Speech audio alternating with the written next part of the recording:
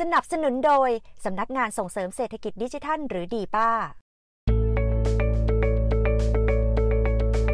18 สิงหาคม 2018 ที่ผ่านมา คือวันครบรอบ 10 ปีของเว็บ bitcoin.org ที่เริ่มโดยซาโตชิ นากาโมโตะนามแฝงของบุคคลหรือกลุ่มบุคคลลึกลับ ที่ไม่เคยเปิดเผยตัวตนที่แท้จริง ผู้ให้กำเนิดสุดยอดโครงการ Open Source แห่งยุค Bitcoin หลายปีที่ผ่านมาแม้ว่าเราจะได้ยินกันเสมอมาว่าบิตคอยและคริปโตเคอเรนซีคือการเปลี่ยนแปลงที่สำคัญมาก ที่จะเข้ามาเปลี่ยนแปลงทั้งเศรษฐกิจ การเงิน การธนาคารและชีวิตของเราทุกคน แต่เอาเข้าจริงแล้วเรื่องนี้กลับยังถูกปกคลุมไปด้วยความไม่เข้าใจ สับสน งุนงง สงสัย ความโลภและคำถามมากมาย จนกลายเป็นความเสี่ยงทางการเงินของเรา และยังเปิดโอกาสให้ผู้ไม่หวังดีก่อคดีล่อลวงทางเศรษฐกิจอย่างที่เป็นข่าวเสมอค่ะ จนรัฐบาลต้องเร่งออกกฎหมายมากำกับดูแลคราวนี้อย่างที่เราทราบกันนะครับว่าปัจจุบันเนี่ยหลังจากที่ประเทศไทยมีพระราชกำหนดการประกอบธุรกิจสินทรัพย์ดิจิทัลมาค่ะนะครับเริ่มตั้งแต่เดือนพฤษภาคมที่ผ่านมาแล้ว กฎหมายเนี่ย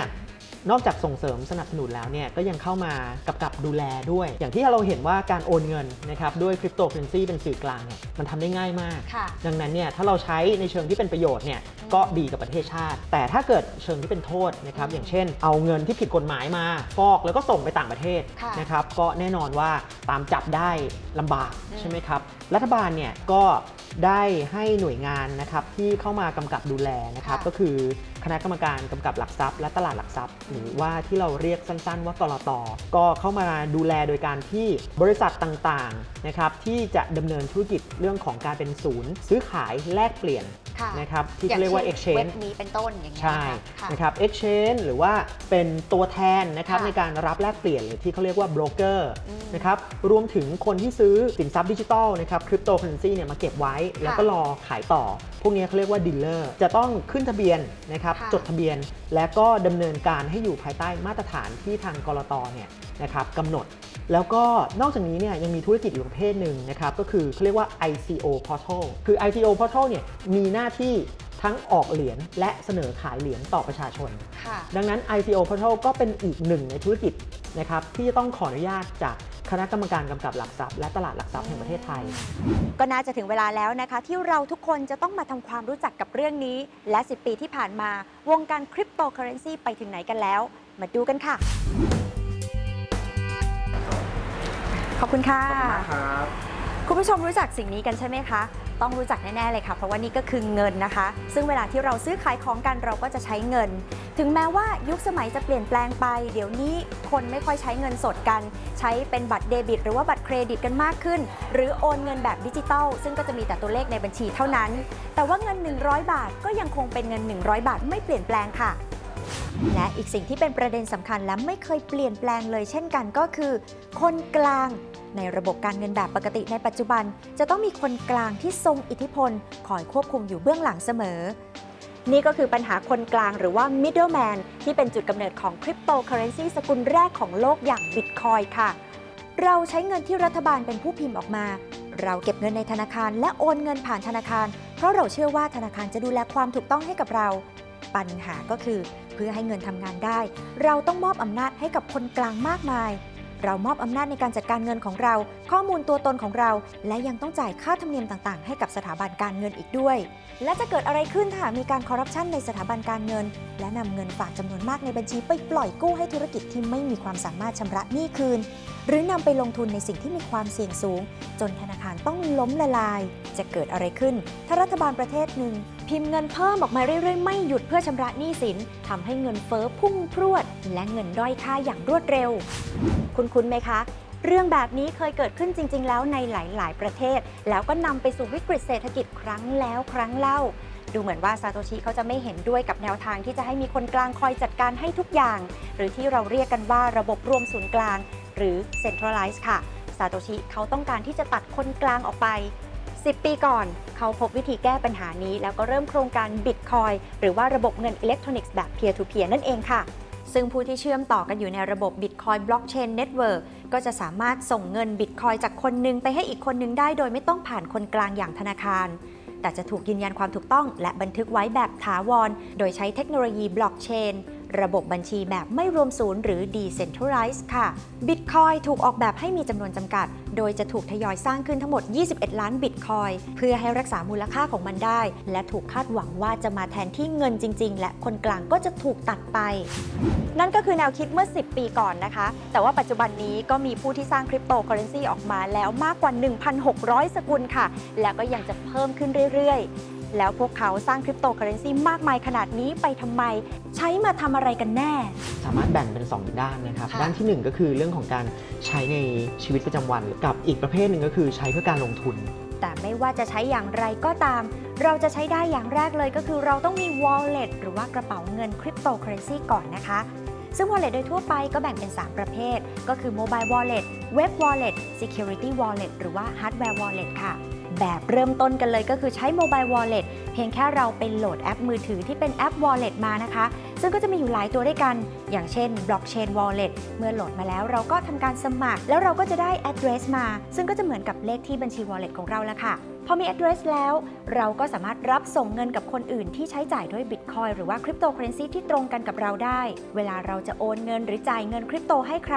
เราก็แค่สแกน QR code หรือว่าระบุ address ของคนที่เราจะจ่ายเงินให้ แล้วเงินคริปโตของเราก็จะโอนไปสู่เขาในเวลาอันรวดเร็ว ก็คล้ายๆ กับแอปธนาคารในปัจจุบันนี่แหละค่ะ เพียงแต่เงินที่โอนกันไปมาเนี่ยเป็นเงินคริปโตนั่นเอง แต่ถ้าเรายังไม่เคยมีบิตคอยหรือว่าเงินคริปโตมาก่อนเลย แล้วก็ไม่มีใครโอนมาให้เราด้วย ก็สามารถนำเงินจริง ๆ ไปแลกเป็นบิตคอยหรือว่าเงินคริปโตตัวอื่น ๆ ได้นะคะ ที่เว็บ exchange อย่างเช่น webcoinbase.com พอเราแลกได้แล้วเงินคริปโตที่ได้นั้นก็จะถูกเก็บอยู่กับ wallet ที่ดูแลโดยเว็บค่ะ แต่ไม่เหมาะกับการจะนำไปใช้จ่ายประจำวันทั่วๆไป ถ้าเราต้องการจะใช้จ่ายก็โอนมาเข้า mobile wallet ได้ แล้วก็ไปใช้จ่ายกันตามปกติ แต่ถ้าจะเก่งกำไรซื้อขายลงทุน ก็อาจจะทิ้งไว้ในเว็บ wallet นะคะพอราคาขึ้นเราก็ขาย พอราคาลงเราก็ซื้อ แต่ทีนี้พอเรามีเงินคริปโตเยอะๆ ก็ไม่เหมาะที่จะเก็บไว้ที่โมบาย wallet เพราะคงไม่มีใครพกเงินร้อยล้านพันล้านเดินไปไหนมาไหนใช่ไหมล่ะคะ ก็ควรจะเก็บเข้า hardware wallet ซึ่งก็เป็น wallet ที่มีความปลอดภัยขั้นสูงสุด เรียกว่า security wallet ค่ะ ซึ่งก็จะมีลักษณะเหมือนกับ flash drive นี่แหละค่ะ มีการต้องใส่รหัสผ่านที่เข้มงวดด้วย ถ้าให้ปลอดภัยยิ่งขึ้นก็เอา hardware wallet เนี้ยไปเก็บใส่เซฟก็ได้ค่ะ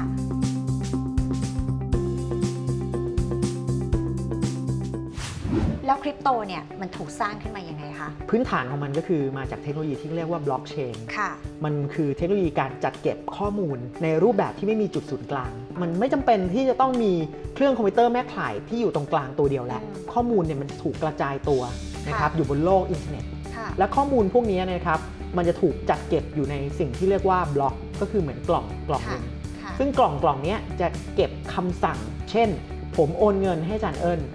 กี่บาท ในเวลากี่โมง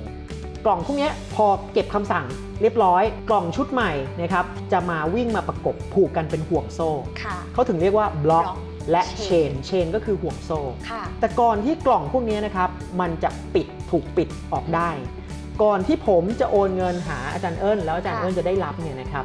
เนื่องจากว่าเทคโนโลยีบล็อกเชนมีการนำมาพัฒนาใช้ในเชิงการเงินนะครับ อย่างที่บล็อกเชนที่เรารู้จักกันฮิตๆ ชื่อดังที่สุดหรือหรือว่าเป็นบรรพบุรุษของบล็อกเชนก็คือ Bitcoin ค่ะ Bitcoin เนี่ยเปรียบเสมือนกับธนาคารที่ไม่มีใครเป็นเจ้าของอืมเอ๊ะ แล้วพอไม่มีใครเป็นเจ้าของ แล้วใครจะมาพิสูจน์ล่ะ ว่ามันมีการโอนเงินจริงค่ะก็จะมีคนอีกกลุ่มหนึ่งนะครับที่เขาทำหน้าที่เป็นผู้ตรวจสอบค่ะมาตรวจสอบการทำธุรกรรมระหว่างกัน ผมโอนเงินให้อาจารย์เอิญเสร็จปั๊บ ในระบบของบล็อกเชนก็จะมีอีกกลุ่มหนึ่งที่เปิดเครื่องคอมพิวเตอร์ของตัวเองทิ้งไว้ เครื่องคอมพิวเตอร์พวกเนี้ยนะครับก็ลงชุดข้อมูลคำสั่งให้สามารถเชื่อมเข้ามาตรวจสอบคำสั่งในระบบธุรกรรมของบล็อกเชนเนี้ยได้ค่ะแย่งกันเข้ามานะครับว่าใครที่จะเข้ามาตรวจสอบได้ก่อนคนอื่น ว่าคำสั่งที่ผมโอนเงินให้อาจารย์เอิญเนี่ยถูกต้องใครได้เร็วที่สุดได้เป็นคนแรกค่ะชุดคำสั่งเนี้ยก็จะถูกปิด คนพวกเนี้ยเขาจะได้เงินส่วนแบ่งค่ะนะครับที่เรียกว่าค่าธรรมเนียมในการค่ะโอนค่ะ ซึ่งคนที่เปิดเครื่องคอมพิวเตอร์ทิ้งไว้เฉยๆนะครับยอมจ่ายค่าไฟยอมจ่ายค่าเน็ตพวกเนี้ยเขาเรียกว่านักขุดบิตคอยเขาไม่ได้ไปขุดหรือว่าไปแข่งกันเล่นเกมที่ไหน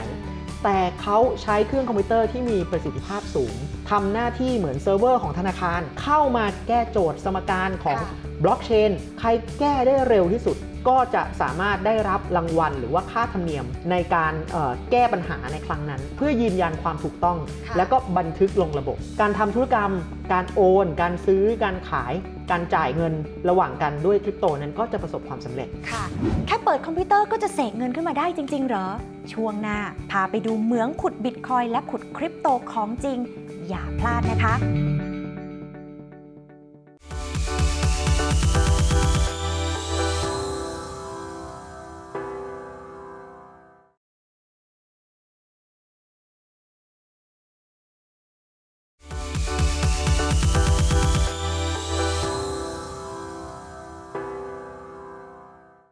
สนับสนุนโดย สำนักงานส่งเสริมเศรษฐกิจดิจิทัล หรือดีป้า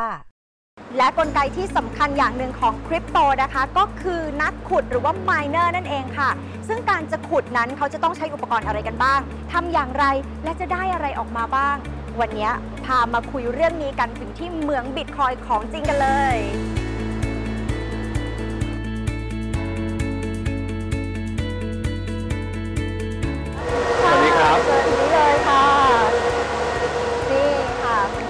เป็นม i เนอร์ที่เริ่มจากความชอบส่วนตัวจนกระทั่งทำเป็นกิจการนะคะ ครับข้างในนี้แหละค่ะก็คือ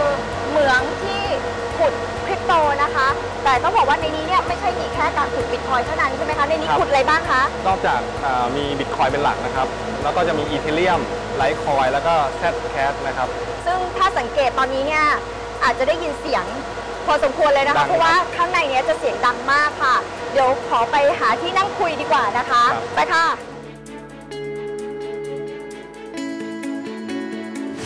มื่อกี้นี้เนี่ยเห็นเป็นห้องใหญ่ ๆนะคะ หลายคนอาจจะคิดว่าโอ้โห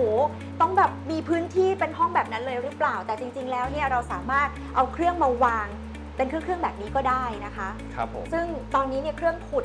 มีแบบไหนบ้างคะ ตอนนี้แบ่งหลักๆก็คือ 2 ประเภทนะครับ ค่ะประเภท ASIC ก็คือเฉพาะทางนะครับ ค่ะ ขุดเหรียญพวกบิตคอยเหรียญ Litecoin แต่แล้วก็อีกประเภทหนึ่งก็คือใช้ GPU ขุดนะครับค่ะก็คือใช้การ์ดจอในการขุด พวกนี้ก็สามารถค่ะขุดได้หลากหลายเหรียญที่เห็นนี้ก็คือเป็นการ์ดจอเรียงกันนะคะจริง ๆเขาก็คือคอมพิวเตอร์นะครับค่ะเพียงแต่ว่าเขาเพิ่มการ์ดจอเข้าไป เพราะว่าโปรแกรมที่ใช้ในการขุดเนี่ยเขาใช้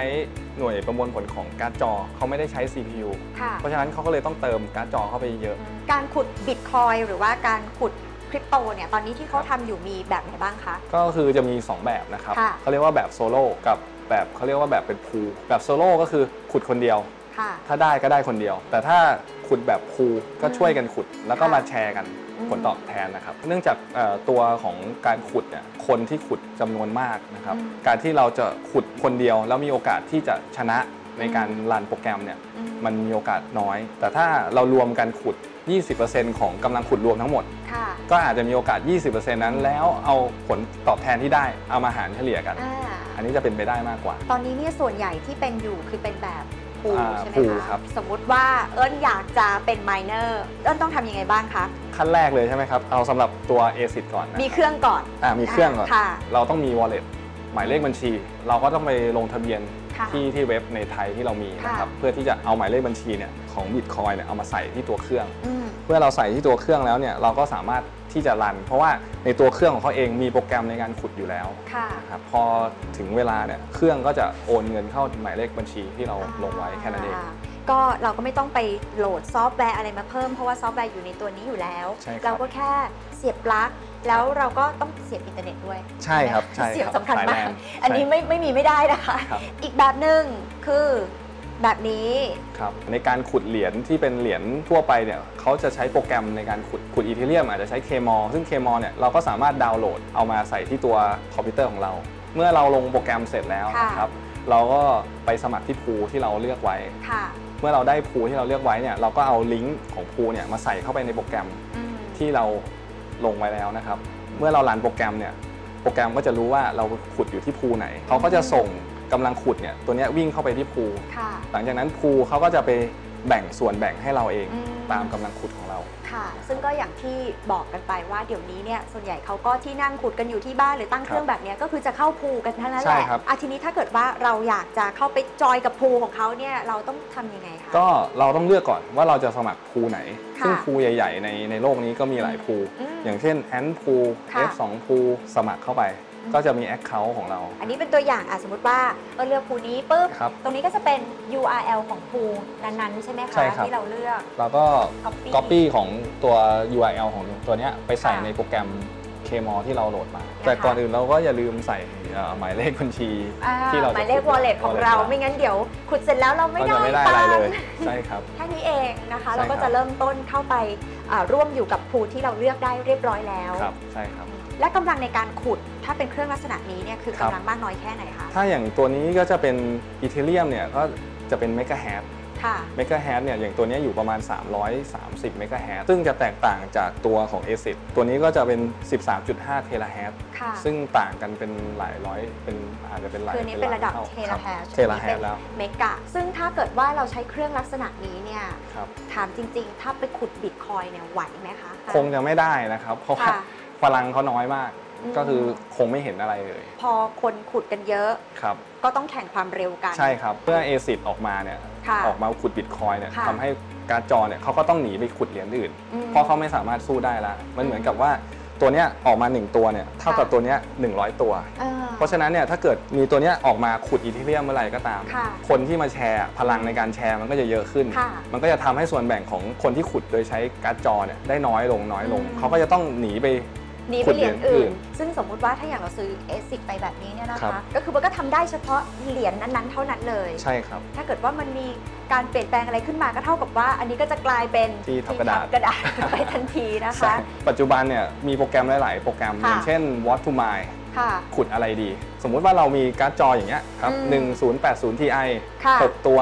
เราก็จะกรอกเข้าไป เขาก็จะบอกมาเลยว่า ตัวเนี้ยเหมาะกับการขุดเหรียญอะไร อืมซึ่งเราจะเห็นเขาเรียกว่าผลตอบแทนได้ค่ะ โดยประมาณถ้างั้นอันนี้เนี่ยถือว่าสำคัญมากเลยของคนที่จะเริ่มต้น ใช่ครับ ขั้นแรกต้องดูก่อนว่า ถ้าเรามีฮาร์ดแวร์แบบนี้ ครับสเปคแบบนี้ ครับเราเหมาะที่จะขุดเหรียญอะไร ใช่ ทีนี้ถ้าสมมุติว่าเอิ้นจะลงทุน ASIC แบบนี้ครับ ประมาณเท่าไหร่คะ ราคาของ ASIC เนี่ยอืมไม่แน่นอนค่ะขึ้นอยู่กับผลตอบแทนที่เขาได้อ่า S9 ตัวเนี้ยค่ะ ถ้าเป็นช่วงต้นปีเนี่ยจะอยู่ประมาณ 1 5 0 0 0 0 บาทถึง 2 0 0 0 0 0บาทเลย จริงเครื่องครับเนี้ยเหรอคะ ใช่เพราะว่าเครื่องเดียวกันนี้เลย ช่วงนั้นเนี่ยจะขุดได้วันหนึ่งน่าจะ 2,000 เลยมั้งครับ ถ้าเกิดช่วงนั้นผลตอบแทนสูง ก็มีคนต้องการเยอะ เครื่องก็จะแพงใช่ ในขณะเดียวกันเนี่ยถ้าหากว่าขุดได้น้อยลง ค่ะมีรุ่นใหม่ออกมา รุ่นนี้ก็อาจจะเหลือ 20,000 30,000อ่า อ่าอันนี้ งั้นถ้าเอาตอนเนี้ยประมาณ2-30,000ถ้าเป็นแบบนี้ลงถ้าทุนเป็นแบบนี้ราคาเครื่องอะจะค่อนข้างนิ่ง เพราะว่าเขาใช้ชิ้นส่วนของคอมพิวเตอร์นะครับอืมเวลาเราขุดแล้วเราเบื่อค่ะก็ยังมีราคา เพราะฉะนั้นต้นทุนจะค่อนข้างนิ่งหนึ่งครับเพราะมันก็คือต้นทุนของฮาร์ดแวร์นั่นเองใช่ครับอีกต้นทุนหนึ่งก็คือค่าไฟ ค่าไฟ อันนี้คือสิ่งที่ต้องคิดเหมือนกัน ใช่ครับ แต่บางทีเครื่องของคุณผู้ชมอาจจะกำลังทำเหมืองคริปโตอยู่โดยที่เราไม่รู้ตัวก็ได้ และเราก็ไม่ได้ประโยชน์อะไรเลยด้วย จันเอิญเคยเจอไหมฮะที่แบบเครื่องของตัวเองหรือว่าเครื่องของน้องๆในออฟฟิศอย่างเงี้ยฮะค่ะอยู่ๆแบบไม่ได้ทำอะไรเลย ค่ะ เครื่องมันร้อนจี๋จนมันดับไปเองโชคดีที่ยังไม่เคยเจอแบบนั้นค่ะ นะฮะถ้าเคยเจอนะครับค่ะ ต้องบอกว่าลักษณะแบบเนี้ยมันคือการที่เราอาจจะติดไวรัสนะครับมาจากอีเมล หรือว่าเข้าไปบางเว็บไซต์เว็บเว็บไซต์ใดเว็บไซต์หนึ่งนะครับอืมแล้วก็ เขาส่งเขาเรียกว่าชุดคำสั่งค่ะนะฮะภาษาโปรแกรมเมอร์เขาเรียกสคริปต์อ่าส่งสคริปต์มาฝังไว้ในเครื่องของเราค่ะแล้วไอ้สคริปต์เนี้ยนะครับคำสั่งเนี้ยมันไปเชื่อมกับไอ้เรียกว่า pool การขุดบิตคอยน์ของเขาค่ะมันก็เลยมาสั่งให้เครื่องของเราเนี่ยทำงานอืมแล้วก็ยิงนะครับความสามารถหรือประสิทธิภาพของเครื่องเราเนี่ยครับไปช่วยเขาขุดบิตคอยน์ค่ะนะครับ โดยที่เราไม่รู้ตัวเลย แล้วเราก็ไม่ได้ประโยชน์อะไรด้วย โปรแกรมเมอร์คนที่ เขียนไวรัสตัวนั้นเนี่ยอ่าก็ได้รับเงินไป โดยที่ไม่ต้องมีเครื่องคอมพิวเตอร์เป็นของตัวเองค่ะ ถ้างั้นใครที่ฟังอยู่ตอนนี้ ถ้าเครื่องมีอาการแบบนี้ ไม่ว่าจะเป็นมือถือหรือว่าจะเป็นคอมพิวเตอร์นะคะ ไม่แน่นะคะ อาจจะโดนฝังสคริปต์ขุดบิตคอยน์แล้วก็ได้ใช่ต้องรีบรีบสแกนไวรัสเลยค่ะนะครับแล้วก็ยังมีอีกรูปแบบหนึ่งก็คือ cloud mining ค่ะ Cloud Mining เนี่ยเหมาะสำหรับคนที่รักความสงบค่ะนะครับใช้เงินซื้ออย่างเดียว จ่ายเงินซื้อนะครับกำลังขุดอืมนะครับก็คือ คนที่เขาเอ่อมีทุนทรัพย์ค่ะนะครับเขาก็ไปซื้อเครื่องขุดของเขามานะครับ แล้วก็เอามาตั้งนะฮะเยอะๆเป็นเขาเรียกว่าเป็น mining farm นะครับคือเป็นเหมืองเลย เยอะๆๆนะครับทำระบบเชื่อมต่ออะไรให้เสร็จสรรพเรียบร้อย มีกำลังขุดมหาศาลเขาก็ขายกำลังขุดให้เรานะครับ เราก็สามารถที่ไม่จำเป็นต้องมีเครื่องคอมพิวเตอร์เป็นของตัวเองค่ะนะครับ เราก็สามารถที่จะ เข้าไปเลือกช็อปได้เลยอืมว่าเราอยากได้กำลังขุดเท่าไหร่ค่ะเวลาเขาเอาเครื่องทั้งหมดเนี่ยมาต่อรวมกันอาจจะกำลังการขุดเนี่ยกลายอาจจะเป็นหมื่น terahash อืมนะครับเขาก็มาแบ่งขายเรา โดยที่เขาก็กินกำไรส่วนต่างค่ะโดยที่ Cloud Mining เนี่ยมีมีอยู่ 2 แบบนะครับค่ะในการที่เขาจะเซตอัพขึ้นมาค่ะแบบที่ 1 ก็คือตัวเจ้าของเนี่ยไปซื้อเครื่องมาทั้งหมดเลยค่ะแล้วก็ทั้งหมดเครื่องเป็นของตัวเอง แล้วก็มาแบ่งขายให้กับคนทั่วไปค่ะนะครับกับแบบที่ 2 ก็คือเออมีคนที่มีเครื่องขุดเป็นของตัวเองด้วยอืมนะครับแล้วเอามาขายกำลังขุดให้กับส่วนกลางค่ะนะฮะก็คืออารมณ์คล้ายๆกับ mining pool นั่นแหละอืมนะครับก็คือมาขายกำลังขุดให้มาขายกำลังขุดให้อืมฝั่งคนซื้อก็ไม่จำเป็นต้องมีเครื่องอยู่ดีค่ะแล้วไม่จำเป็นต้องรู้ด้วยว่าไอ้กำลังขุดที่เราซื้อเนี่ยอยู่ที่ไหนอืม ใครเป็นเจ้าของค่ะฉันซื้อแต่กำลังขุดและได้รับผลตอบแทนค่ะเขาจะขายไปว่าอ่าเนี่ยกำลังขุดเนี่ยหนึ่งเทราแฮชราคาเท่าไหร่อืม5เทราแฮชราคาเท่าไหร่ สัญญาขั้นต่ำอย่างน้อยกี่ปีอืมนะครับซึ่งทั้งนี้ทั้งนั้นเนี่ยการขายกำลังขุดหรือว่าการซื้อกำลังขุดเนี่ยหรือแม้กระทั่งซื้อเครื่องมาขุดเอง ก็ไม่ได้รับประกันเสมอไปว่าจะมีกำไรค่ะเพราะว่าการขุดนะครับคริปโตเคอเรนซีทั้งหมด ต้นทุนอย่างที่หนึ่งนอกจากค่าซื้อเครื่อง หรือค่าลงทุนในการซื้อกำลังขุดถึงแม้ไม่ซื้อเครื่องเป็นของตัวเองใช่ไหมครับเราก็ต้องเสียค่าไฟ ค่าไฟค่าใช้จ่ายในการบริหารจัดการ ซึ่งทุกวันนี้นะครับเราทราบกันดีอยู่แล้วว่า ราคาของคริปโตเคอเรนซีเนี่ยมันลงเฉพาะบิตคอยน์นะครับตอนเดือนมกราเนี่ยอยู่ที่ประมาณ 6 0 0 0 0 บาท วันนี้เนี่ยราคาบิตคอยน์ล่าสุดที่เราคุยกันนะ ตอนนี้อยู่ประมาณ 2 0 0 0 0 0 บาท แน่นอนว่าราคาลงมาขนาดนี้นะครับบางคนเขาบอกว่ามันชนทุนกับค่าไฟแล้วแต่ถ้าประเทศอื่น นะครับที่ค่าไฟก็ถูกกว่าเราค่ะแน่นอนว่าเขาก็ยังพออยู่ได้อ่าแต่ถ้าเมื่อไหร่ที่ราคาของ Bitcoin หรือว่าคริปโตเคอเรนซีตัวอื่นๆมันขึ้นไป เขาก็มีโอกาสที่จะได้กำไร ดังนั้นเนี่ยคนที่เขาเรียกตัวเองว่าเป็นนักขุด Bitcoin หรือว่าสายขุดเนี่ยนะครับค่ะก็ตอนนี้ทำหน้าที่ได้ 2 อย่าง 1 ก็คือบางคนเริ่มไปไม่ไหวแล้วอ่านะครับทนความร้อนไม่ไหวค่ะนะครับดูแลจัดการไม่ไหวแล้วก็ เสี่ยงกับค่าไฟไม่ไหวเนี่ยอืมนะครับเพราะว่าบางทีถ้าราคาเหรียญมันลง แล้วเราไปขายบิตคอยในช่วงค่ะที่เพื่อไปจ่ายค่าไฟ แล้วตอนนั้นเนี่ยราคามันต่ำกว่าทุนอืมเขาก็เจ๊งขึ้นมา เขาก็ทำได้อย่างที่หนึ่งก็คือถอดปลั๊กก็คือนะเลิฮะกเลิกขุดเลิกกิจการไปค่ะอย่างที่สองก็คือทนขุดต่ออืมแล้วเก็บเหรียญไว้อืมรอวันฟ้าใสเมื่อไหร่เหรียญขึ้นค่อยขายค่ะนะครับก็เป็นอีกวิธีการหนึ่งค่ะซึ่ง อันเนี้ยคือโลกของรายย่อยค่ะวันนี้เนี่ยคริปโตเคอเรนซีมันมีการพัฒนาขึ้นมาเรื่อยๆ และแน่นอนครับโลกของเศรษฐกิจทุนนิยม รายใหญ่เห็นสิ่งที่มันมีกำไรมีโอกาสที่จะทำกำไรได้อืมเขาก็ลงทุนเครื่องขุด ลงทุนสร้างโรงงาน ลงทุนผลิตชิป คนที่มีเงินเยอะๆ มหาศาลพันล้านหมื่นล้านค่ะเขาก็ลงทุนนะฮะซื้อเครื่องเป็นล็อตใหญ่ค่ะๆต้นทุนต่ำอืมแน่นอนว่าถูกกว่าเราอืมนะฮะซื้อได้ถูกกว่าเรา 20-30%หรือเพิ่มค่ะ50% สร้างเป็นโรงงานเลยครับ โรงงานหนึ่งหมื่นเครื่อง 20,000 เครื่อง ไม่ตั้งเมืองไทยแน่นอน เพราะว่าหน่วยค่าไฟบ้านเราเนี่ยก็ไม่ไม่ถูกอืมนะครับ ก็ไปตั้งในต่างประเทศที่ค่าไฟราคาถูกค่ะนะครับเขาก็ยังมีกำไรอยู่อืมเพราะฉะนั้นโลกของรายย่อยก็ต้องคิดหนักอ่านะครับว่ายังจะขุดต่อค่ะนะครับ หรือจะเลิกกิจการไป ตอนนี้คุณผู้ชมก็รู้จักกับคริปโตเคอเรนซีและบิตคอยน์กันมากขึ้นแล้วนะคะ ซึ่งเทคโนโลยีที่อยู่เบื้องหลังคริปโตเคอเรนซีก็คือบล็อกเชนค่ะ เรื่องนี้ยิ่งใหญ่ยิ่งกว่าคริปโตเคอเรนซีซะอีกนะคะ เพราะว่าบล็อกเชนไม่ใช่เพียงแค่ทำให้เกิดคริปโตเคอเรนซีหรือว่าเงินดิจิตอลเท่านั้น แต่หลายคนบอกว่านี่คืออินเทอร์เน็ตยุคที่ 2 ค่ะ จะมีความสำคัญและจะทำให้ชีวิตของเราเปลี่ยนแปลงไปอย่างไร อย่าพลาดติดตามชมกันต่อในตอนหน้านะคะ